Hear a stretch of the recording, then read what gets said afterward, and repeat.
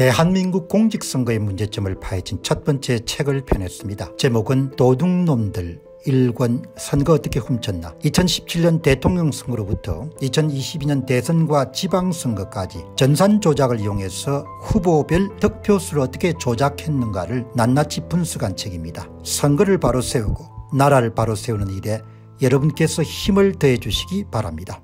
안녕하십니까 공병호입니다. 제가 이제 외부에 나와 있어 가지고 제가 자주 사용하는 그런 PPT를 사용하지 못하고 그냥 실방송을 드리게 되었습니다.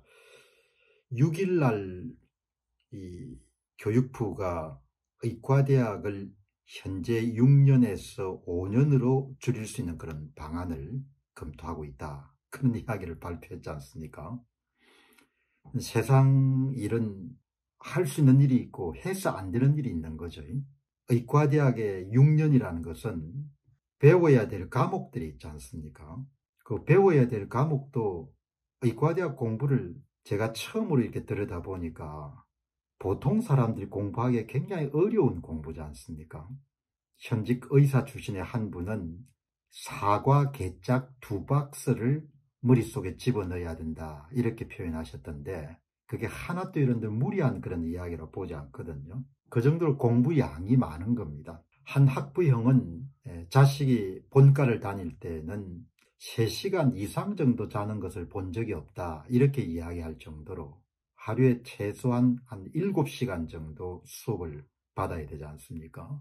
저도 공부를 할 만큼 한 사람인데 공부량이 어마어마하게 많은 것이 의과대학인 거죠. 이제 이번에 교육부가 그렇게 이제 6년제를 5년제로 개편하는 것을 검토해야겠다라고 이렇게 이제 생각을 하게 된 것은 당장 이제 의과대학생들이 휴학이 인정되게 되면은 이제 의사가 배출이 안 되지 않습니까?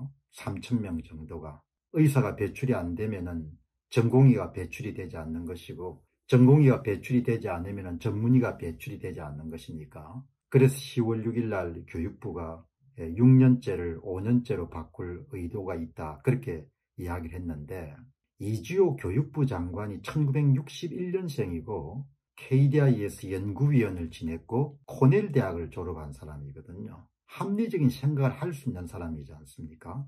그런데 도저히 그거는 검토 대상이 될 수가 없는 거거든요. 그러니까 지금 이제 나라가 돌아가는 형편을 보게 되면은 제가 자주 그런 이야기를 하지 않습니까? 대한민국 근현대사를 통해서 1960년대 출신들이 상당히 나라를 많이 어렵게 만들 것이다. 그런 이야기를 누누이 이야기해 왔거든요. 저하고 이제 이, 이주 교육부 장관하고 연배가 비슷한데 이제 군부 독재 시대를 겪었으니까 정상적인 사고에서 조금 거리가 있는 세대가 더 거리가 있는 세대는 586 세대고 뭐 1960년 전후 세대도 그렇게 자유주의적 시각을 갖고 있는 그런 훈련을 받지 못한 사람들이거든요. 그런데 더 딱한 것은 교육부 장관이나 차관이란 사람들이 의과대학 교육을 6년에서 5년으로 바꾸는 부분에 대해서 의로게 하고 의논한 적이 있냐? 저는 없다고 보거든요.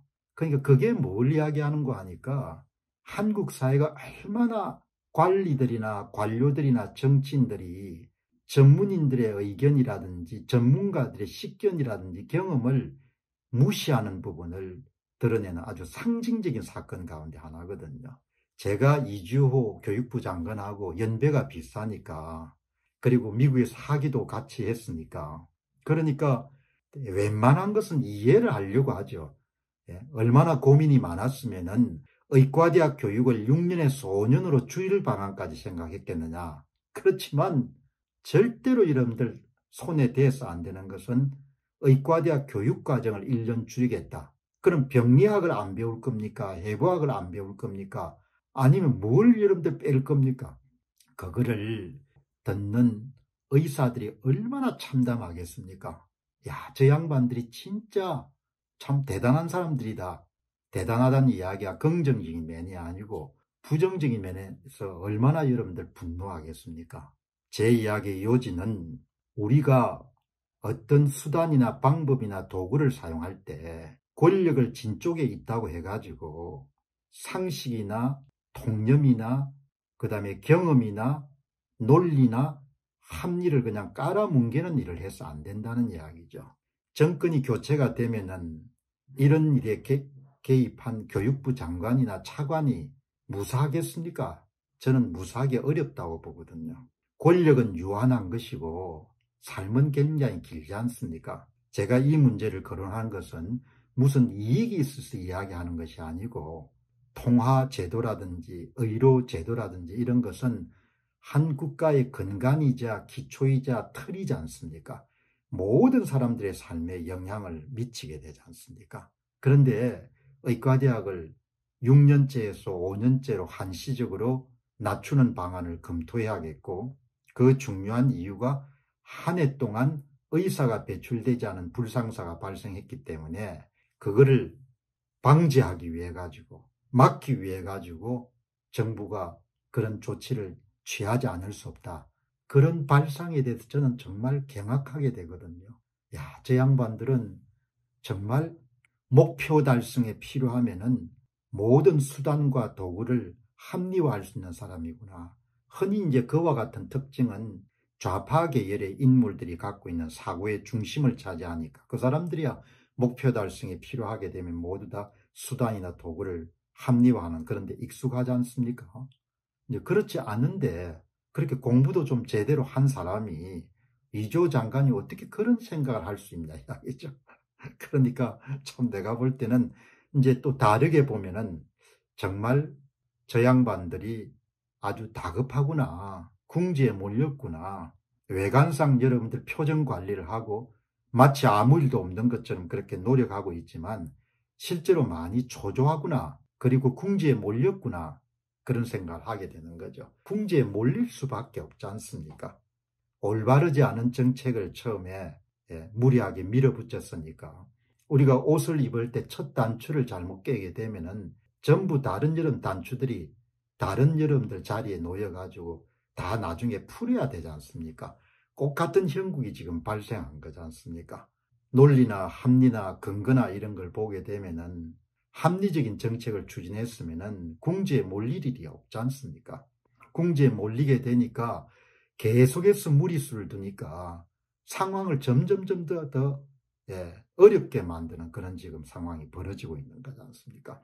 제 이야기 요지는 체면도 좋고 또 면도 이름도 살려야 되고 폼도 잡아야 되고 뭐 얼굴도 세워야 되고 그거 다 좋은데 이 의과대학 정원 조정 문제는 제가 학자적 양식이나 그동안의 경험이나 이런 부분을 미뤄보게 되면은 원점에서 재검토를 해야 됩니다. 그렇지 않으면은 이 문제가 현재 권력을 쥐고 있는 사람들의 앞날에도 대단히 여러분들 그림자를 그냥 지우는 것이 아니고 찢게 지우게 될 것이고 일반 국민들의 큰 폐해를 끼치게 될 겁니다. 저는 이해관계가 전혀 없는 사람으로서 다만 다른 사람보다도 교육을 체계적으로 받았기 때문에 경제학자의 시각으로 볼 때 터무니없는 그런 조치니까 그걸 어떻든 간에 다시 한 번 더 원점에서 재검토하도록 노력을 해야 되는 거죠. 그렇지 않고 이렇게 계속해서 무리수를 두는 것은 뭔가 조치를 취하면 취할수록 계속 수령에 빠지지 않습니까?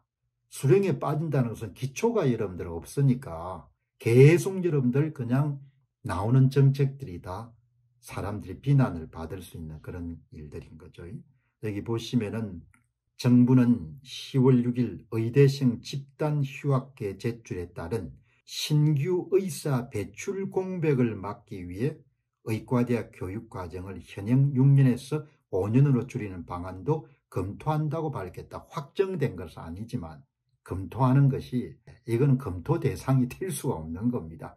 병리학을 안 배우고 나올 겁니까? 해부학을 안 배우고 나올 겁니까? 해부학 실습을 안 배우고 나올 겁니까? 당장 여러분들 이런 발표가 있으니까 의과대학 교수들의 아우성이지 않습니까? 지금도 빡빡해가지고 본과 여러분들 과목을 예과까지 넘겨가지는 교육시는 상황인데 뭐를 더 빼가 1년을 단축시키려 하는 거냐 이렇게 나오지 않습니까? 예.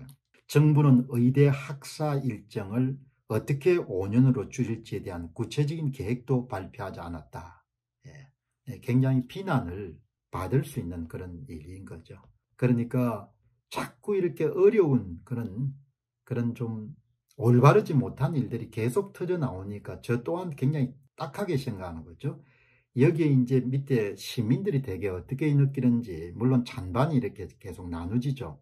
맨 처음에 지금 현재 154명이 이 기사에 대해서 여러분들 의견을 남겼는데 아이 아빠란 분이 이렇게 이야기합니다. 갈수록 태산첩접산 중입니다. 누가 왜 시작한 일인지 누구 하나 책임지는 사람이 없고 결국 대통령이 짊어져야 될 리스크만 커지고 환자들이 어려움을 겪고 있습니다. 그리고 전공의들은 경력이 무너지고 아무도 덕을 보는 사람이 없는 사태가 계속되고 있습니다. 이렇게 이야기하지 않습니까? 그리고 또 한 분 그린이란 분은 이 정부는 목적 2천명 정원을 위해 가지고 수단을 가리지 않는 거네요. 그동안 대통령께서 누누이 말씀하셨던 자유민주주의는 모두 다 어디 갔는지 모르겠습니다. 이렇게 이야기하지 않습니까? 그래서 이 문제를 정말 이렇게 그 사람이 그렇지 않습니까? 우리도 살아가면서 실수할 수도 있고 판단을 잘못할 수도 있는 거죠. 수정할 수 있는 부분에 대해서는 많은 사람들이 완벽하기 때문에 이해할 수 있는 부분도 많은 거죠. 예, 그러니까 이번 조치도 이조 장관이나 대통령의 앞날을 위해서라도 좀 더 고민을 하셔가지고 이제 나올 수 있는 방법이 없는 겁니다. 나올 수 있는 방법이. 제가 딱하게 생각하는 것은 묘수를 짜내면 짜낼수록 이렇게 비난받을 수 있는 일들이 나오기 때문에 한 번 더 원점에서 재검토할 수 있는 그런 용기와 지혜가 필요할 때다 이렇게 생각하고 결론적으로 이야기하게 되면은 어떻게 의과대학 교수나 이런 사람들하고 상의 한 번 없이 교육부 장차관이란 사람이 의과대학의 그 빡빡한 여름 교육과정을 6년에서 5년으로 낮추겠다. 그런 발상 자체가 참 어처구니가 없고 뭐 때로는 척은하기도 하면 얼마나 고민을 했으면 그런 이해할 수 없는 일까지 생각할까 이런 점을 제가 지적하고 싶습니다. 감사합니다. 안녕하십니까 공병호입니다. 그동안 공병호 TV는 선거 공정성 회복과 자유민주주의 체제의 보존과 발전을 위해 노력해 왔습니다. 이런 노력들이 지속될 수 있도록 공병호TV의 전기 후원 프로그램이자 멤버십 프로그램을 소개해 드립니다. 뜻 있는 분들의 관심과 동참을 부탁드립니다. 선거 공정성 회복을 위한 노력을 지지하시고 훌륭한 나라 만들기에 동참하시는 시청자분들이시라면 구독 버튼 바로 옆에 있는 가입 버튼을 통해서 정기 후원 프로그램에 가입할 수 있습니다. 가입 버튼을 누르시면 공병호TV의 후원자가 되시게 됩니다. 여러분의 후원이 선거 공정성 회복을 위한 노력에 힘을 더할 수 있을 뿐만 아니라 자유민주주의 체제의 수호를 그리고 발전을 통해 여러분과 후손들의 삶에 빛과 소금이 될 것입니다. 특히 그동안 공병호TV는 선거 공정성 회복을 위한 노력 과정에서 채널 성장에 제약이 가해지는 불이익을 감수해왔고 지금도 그런 불이익이 계속되고 있습니다. 그럼에도 불구하고 너무나 중대한 문제이기 때문에 공병호 TV의 노력은 계속될 것입니다. 여러분의 깊은 관심을 부탁드립니다. 감사합니다.